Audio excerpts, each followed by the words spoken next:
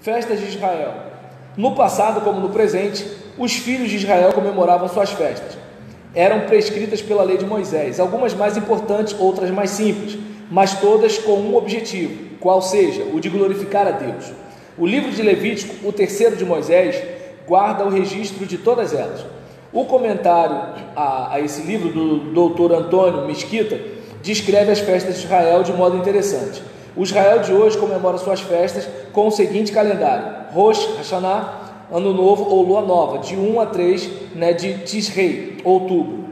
Yom Kippur, Dia do Perdão, 10 de Tisrei, outubro. Sukkot, Festa dos Tabernáculos, 15 a 21 de Tisrei, outubro. O último dia dessa festa é chamado Sinjat, Torá, alegria pela existência da lei. Hanukkah, é, Dia das Candeias, 25 de Kisleu, é, novembro a 2 de Tevet, dezembro. Tu também chamado de Rosh Hashanah Leilanot, dia da árvore, 15 de Shevat, fevereiro. Purim, dia da sorte, comemorava a, libera, a libertação dos judeus do poder de Amã, ao, ao tempo da rainha Esther, 14 de Adar, mês de março. Pesach, ou Pesach, Páscoa, 15 a 21 de Nissan, ou Nisan, abril. A Páscoa era um dia é, de um dia apenas, associada, porém, a dos pães asmos, de duração de uma semana. Lago Balmé, o 33 dia de Omé, isto é, as primeiras espigas oferecidas no templo, 18 de Iar, ou seja, maio. Shavuot, de Pentecostes, também chamado Habikurim. Primícias, 6 de Sivan, junho.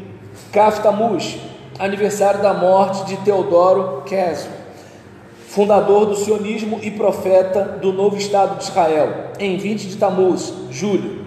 Tchá Be'av, aniversário da destruição do Templo de Jerusalém pelos romanos em 70 depois de Cristo. 9 de Av, agosto.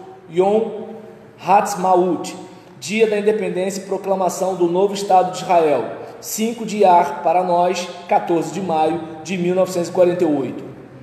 O ano judaico em 1978 do nosso calendário corresponde a 5.738 do judaico que começa com a fundação do mundo, de acordo com a, a compreensão que eles tinham né, na, naquele período.